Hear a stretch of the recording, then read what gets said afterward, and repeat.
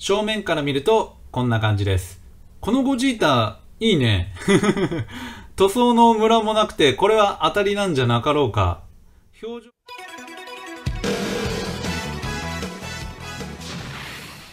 はい、どうも皆さんこんにちは、ケイと申します。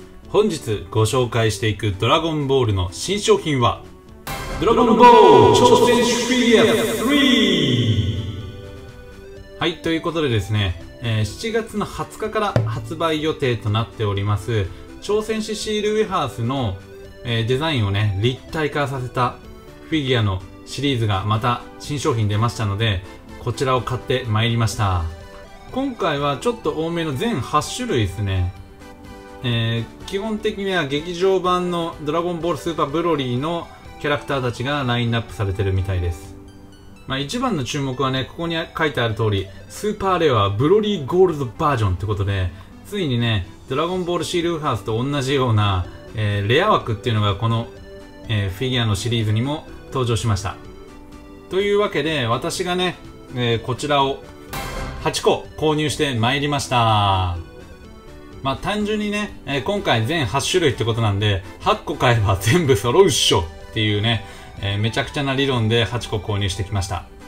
では早速このスーパーレア、ブロリーゴールドバージョンを狙って開封して参りましょう。では記念すべき1つ目ですね。まあこれ1個300円だから、まあドラゴンボールアドバージとかよりはリーズナブルな商品になっております。さあ1体目のカードは、カードじゃない、こちら。ん？あー、フリーザ様ですね。はい、組み立てた感じ、こんな仕上がりになっております。いや、結構やっぱね、このシリーズね、デフォルメされてるからかわかんないけど、出来がいい気がしますね。こんな感じで、エフェクトが台座になってて、自立するような仕様になっております。後ろから見るとこんな感じ。天使の輪っかもね、ちょうど、えーつむじのところらへんにぶっ刺すような形でした。正面から見てみるとこんな形です。いや、このアングルとか結構いいよね。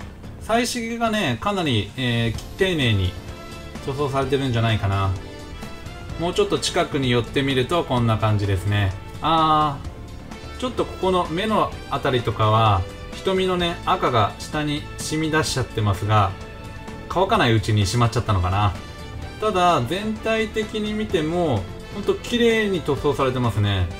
特にこのゴールデンなところがすごい色鮮やかな印象を受けます、まあ、グラデーションのね塗装とかさすがにないんだけど。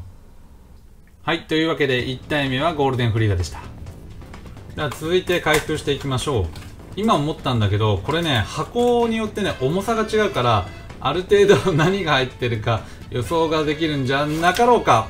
あこれはブロリーさんですね。はい、開封してまいりました。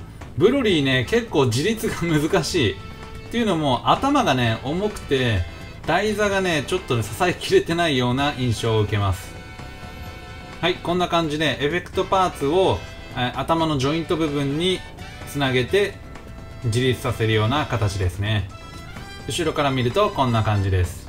頭のね、彩色がすごい色鮮やかで、さっきのゴールデンフリーザみたいに、きらびやかな塗装がされております。斜めから見るとこんな感じ。造形はねそこまで細かいっていうような印象はないけど、えーデフォルメされてる商品だからそこまで気にはならないかな。ちょっとアングルを変えて正面が見えるようにしてみました。こうやって見ると結構かっこいいね、まあ、今回はねこちらの商品のゴールドバージョンっていうのがスーパーレア枠で実装されてるみたいなので引き続きそちらを狙って開封していきましょう。さあじゃんじゃん上げていきましょう。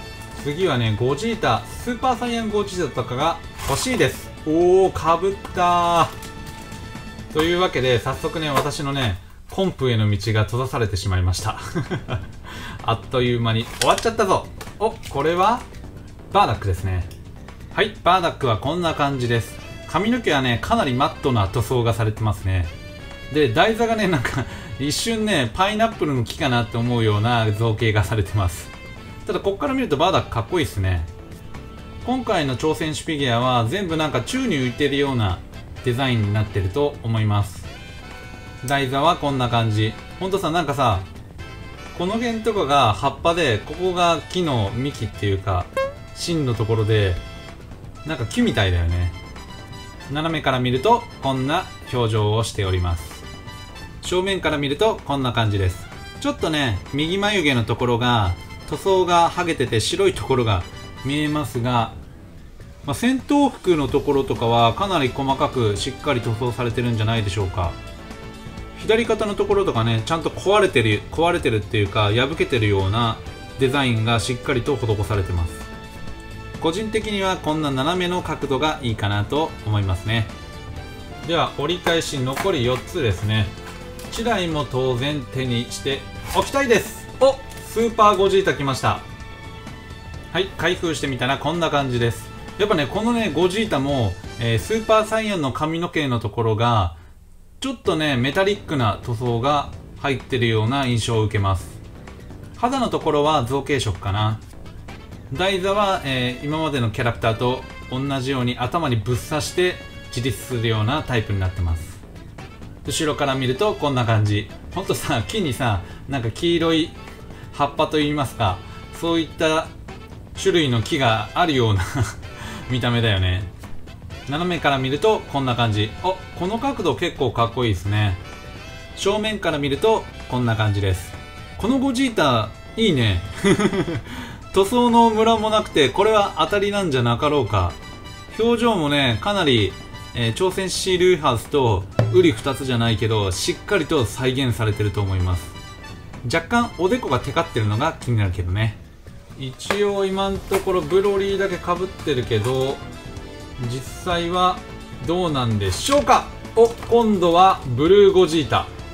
ブルーゴジータの髪の毛の塗装もいいっすね。このメタリックな塗装結構好きかもしれない。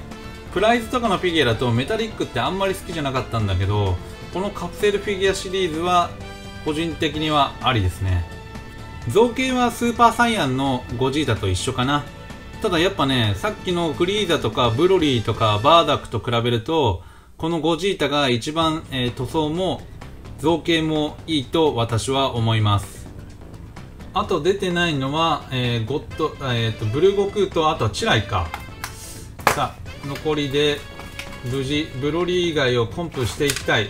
お出ましたねブルーゴク。ーちょっと待ってって言ってるような悟空のポーズですが髪の毛の塗装はさっきのねブルーゴチータと同じようなメタリック仕様になっておりますね。顔面とかは多分造形色なのかな今回全部。台座がねちょっと今までのフィギュアたちと変わっててなんかつららというか氷をイメージしてるような台座になっております。こうやって見るとエネルギー弾を打ってるようにしっかり見えますね。ただ正面から見るとちょっと待って。って言ってる。悟空に見えます。ちゃんと道着の悟空っていうマークもしっかりプリントされてますね。ちなみに背中は悟空のプリントが入っておりません。